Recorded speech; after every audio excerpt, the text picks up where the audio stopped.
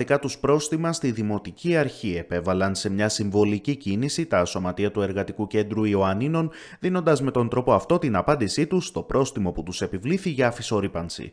Κατά τη διάρκεια της συνεδρίασης του Δημοτικού Συμβουλίου, εκπρόσωποι του Εργατικού Κέντρου και αρκετών σωματείων συγκεντρώθηκαν έξω από το Δημαρχείο υπογράφοντας πρόστιμα κατά της Δημοτικής Αρχής για τη διαχείριση της πρόσφατης κακοκαιρίας, για τις ελλείψεις σε προσωπικό καθαριότητας και για τη μη καταλληλότητα των παιδικών χαρών μεταξύ άλλων.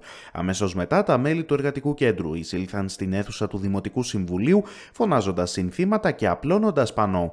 Ο πρόεδρος του Εργατικού Κέντρου και βουλευτής Ιωαννίνων του Κομμουνιστικού Κόμματος, Νίκος Έξαρχος, κατήγγειλε την εξίσωση της δράσης του Εργατικού Κέντρου και των διαφόρων εμπορικών δραστηριοτήτων και έκανε λόγο για προσπάθεια φήμωση και παρεμπόδιση της συνδικαλιστικής δράσης.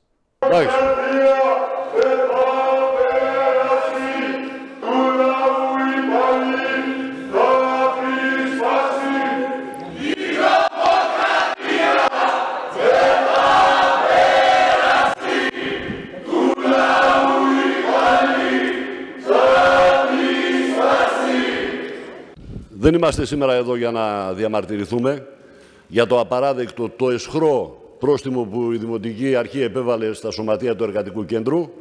Είμαστε εδώ ακριβώς για να καταγγείλουμε αυτή την προσπάθεια της Δημοτικής Αρχής, την προσπάθεια αφήμωσης, την προσπάθεια παρεμπόδισης της συνδικαλιστικής δράσης. Δεν είναι λοιπόν ε, η πρώτη φορά που η συγκεκριμένη Δημοτική Αρχή κάνει μια τέτοια προσπάθεια. Θυμόμαστε οι παλιότεροι και από την προηγούμενη θητεία θα θυμάται και ο ίδιος ο κύριος Δήμαρχος. Ήταν ο ίδιος μάρτυρας ο οποίος και στην αστυνομία είχε προσέλθει για να λυθεί τότε το, ε, το συγκεκριμένο ζήτημα. Ήταν ακριβώς η ίδια περίπτωση. Άρα λοιπόν εδώ γίνεται μια συγκεκριμένη προσπάθεια. Από πού και ως πού όμως η Δημοτική Αρχή εξισώνει τη δράση των σωματείων του εργατικού κέντρου με εμπορική επιχειρηματική δραστηριότητα; Από πού και ως πού κυρίες και κύριοι δημοτικοί σύμβουλοι η εκδήλωση αλληλεγγύης του εργατικού κέντρου που σημειωτέων ήταν χιλιάδες γιανιωτών, εκδήλωση που ήταν αφιερωμένη στους εκατοντάδες απολυμμένους εργάτες της Λάρκο, εκδήλωση που ήταν αφιερωμένη στα λαϊκά μαθήματα που εκατοντάδες παιδιά των εργατικών λαϊκών οικογενειών δέχονται δωρεάν τη βοήθεια από το εργατικό κέντρο. Από πού και ως πού είναι ίδια αυτή η εκδήλωση που στηρίζει συνολικά τη δράση των σωματείων του εργατικού κέντρου που στήριξε την μεγάλη εκδήλωση στο Άλσο στην παιδική γιορτή που ήταν χιλιάδες μαθητές και γονεί. Από πού και ως πού λοιπόν είναι εμπορική επιχειρηματική δραστηριότητα αυτή που επικαλείται ο Δήμαρχος. Και φυσικά από πού και ως πού είναι επιχειρηματική δραστηριότητα η εκδήλωση που στηρίζει συνολικά τις δράσεις των σωματείων, τον αγώνα τους ενάντια στην ακρίβεια, τον αγώνα τους ενάντια στους μισθούς, τους βάρβαρους μισθούς, τον αγώνα τους ενάντια στις απολύσεις, τον αγώνα τους για να μην πάρουν τα κοράκια των φαν στα σπίτια του Κοσμάκη. Από πού και ως πού λοιπόν θα μπει πρόστιμος σε αυτές τις δραστηριότητες και τις πρωτοβουλίες; Είναι προσχηματικό λοιπόν να επικαλείται η Δημοτική Αρχή το ζήτημα της καθαριότητας. Η Δημοτική Αρχή που έχει ακέραιη την ευθύνη και το τονίζουμε αυτό για τα χάλια που βρίσκεται η καθαριότητα της πόλης μας. Και φυσικά είναι εσχρό να επικαλείστε τον κοινωνικό αυτοματισμό και τους δίθεν αγανακτισμένους πολίτες. Και φυσικά να χρησιμοποιείτε τους διάφορους, έστω λίγους, ευτυχώς λίγους, καλοπληρωμένους κοντιλοφόρους. Ποιο θα είναι λοιπόν το επόμενο βήμα μετά από αυτό το πρόστιμο; Ατομική ευθύνη σε όλα. Ατομική ευθύνη στην καθαριότητα, να καθαρίζεις το πεζοδρόμιο έξω από το σπίτι σου, να καθαρίζεις έξω από το μαγαζί σου, να καθαρίζεις τους κοινόχρηστους χώρους, αλλιώς πρόστιμο. Θα θυμίσω στους παλιότερους ότι αυτά γινόταν επιχούντας. Αν θέλετε και πιστεύω ότι θέλετε καθαρή πόλη, ένας είναι ο δρόμος. Προσλήψεις μόνιμου προσωπικού. Γι' αυτό εξάλλου πληρώνει ο γεννιώτικος λαός αυτά τα τεράστια ανταποδοτικά τέλη. Γιατί μην μας πείτε ότι από τις αφήσεις του εργατικού κέντρου ήταν βολωμένα τα φρεάτια που πνίγηκε ο βοτανικός και που έμεινε η μισή πόλη, παράλυσε η μισή πόλη με μια βροχουλά η πόλη δεν πρέπει να είναι ένα ξέφραγο αμπέλι, ανέφερε μεταξύ άλλων στην τοποθέτησή του ο επικεφαλής της ανεξάρτητης δημοτικής πρωτοπορίας Νίκος Γκόντας, ενώ η επικεφαλής της Λαϊκής Συσπήρωση Όλη Τσουμάνη μίλησε για πολιτικό ζήτημα.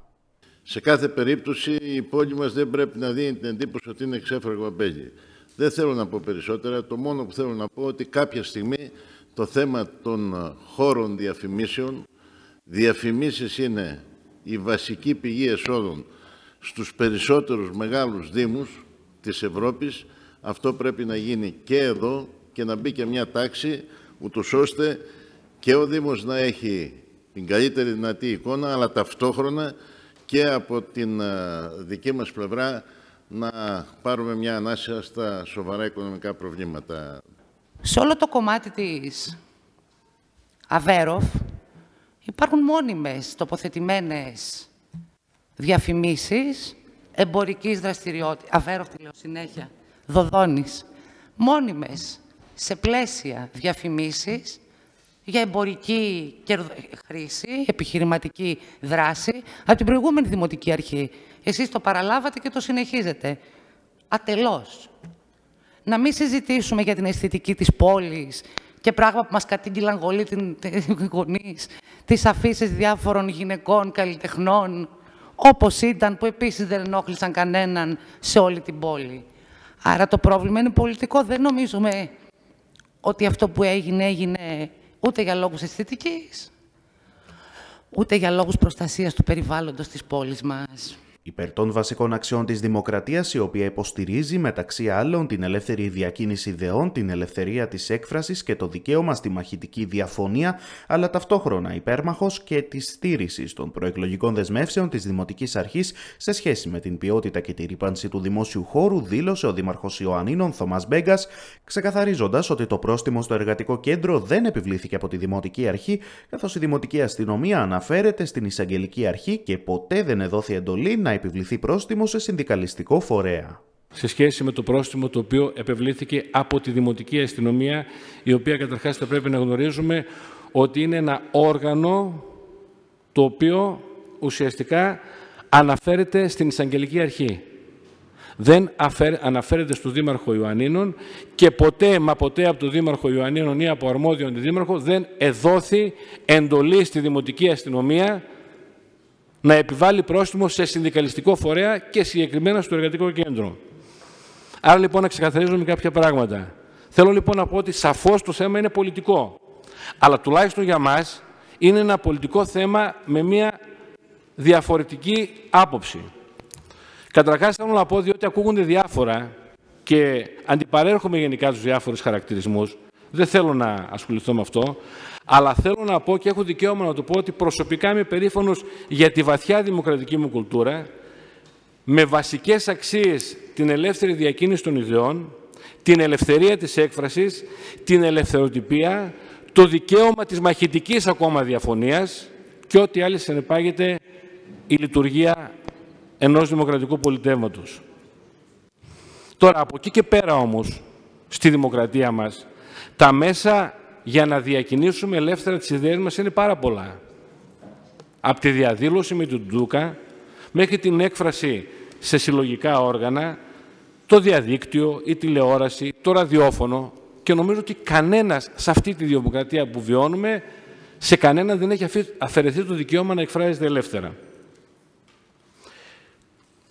Το να εξτομίζεις λοιπόν ελαφρά την καρδία κατηγορίες για κάποιον που ασκεί διοίκηση είναι πάρα πολύ εύκολο. Αλλά είναι τελείως διαφορετικό το να μην θέλεις να κάνεις κάποια πράγματα από το να μην μπορείς να τα κάνεις γιατί δεν διαθέτεις ανθρώπινους και οικονομικούς πόρους. Και εγώ προσωπικά, αλλά και η Δημοτική μας Αρχή, είμαστε από τους δημάρχους που στεναρά και φωναχτά θα έλεγα διαφωνούμε με τις κυβερνητικές πολιτικές για την αυτοδιοίκηση και παλεύουμε και διεκδικούμε. Τώρα για το πώς δίνονται οι μάχες, ε, τι να κάνουμε, εντάξει, αυτό υπάρχουν και διαφορετικές απόψεις. Εμείς δίνουμε τη μάχη μας με τη δικιά μας άποψη. Καταλήγοντας λοιπόν, πολιτικό για μας είναι να προσπαθήσουμε να υλοποιήσουμε αυτό που υποσχεθήκαμε στους δημότες σε σχέση με την αισθητική, την ποιότητα και τη ρήπανση του δημόσιου χώρου. Και ό,τι πέτρα παίρνουμε σε αυτή την κατεύθυνση, οφείλουμε να τα εφαρμόσουμε ισότιμα. Και νομίζω ότι ο Δήμος έχει δει βελτίωση σε αυτό το επίπεδο. Γιατί πάνω απ' όλα μας ενδιαφέρει η ποιότητα ζωής στο δημόσιο χώρο των δημοτών.